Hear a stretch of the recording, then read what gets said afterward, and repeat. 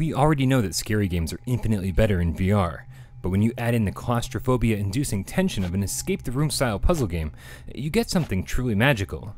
After exploring every corner and hopelessly pondering all the seemingly inadequate clues, the realization sets in that you are indeed stuck in this potentially dangerous room for the foreseeable future. And before you know it, the air suddenly gets heavy, you start to sweat, and the walls feel like they're closing in. This is what immersion really feels like, and it's also why I loved 18 Floors from beginning to end.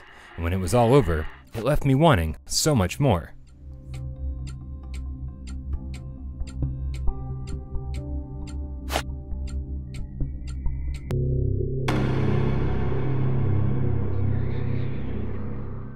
Most, if not all, the puzzle solutions here are obvious. Or let me rephrase that, most of them should be obvious. But in 18 floors, it's really, really easy to overthink things.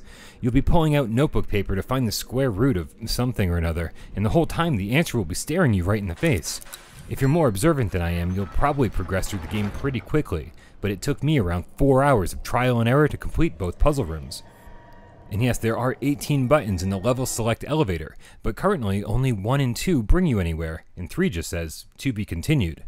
The developers are promising more content soon, but no release date or pricing structure has been announced. Unfortunately, teleportation and click turning with the required dual move controllers kill a bit of the immersion, but for the most part it controls pretty well. Some smaller dials are a little finicky and objects you're carrying don't always travel with you the way they're supposed to. I was even forced to restart the game once after losing track of a key item that hit the floor and then just disappeared. Luckily, I was too busy soaking in the realistic graphics, tense music, and creepy sound effects to hold the game too accountable for its shortcomings.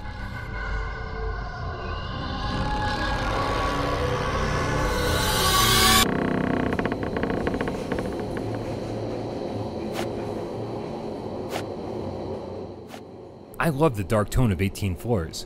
The haunting, foreboding ambiance kept me on edge, but not knowing if I'd have the puzzle solving acumen to keep moving forward made me constantly wonder if I'd be trapped here for just a few minutes, a few hours, or worst case scenario, forever.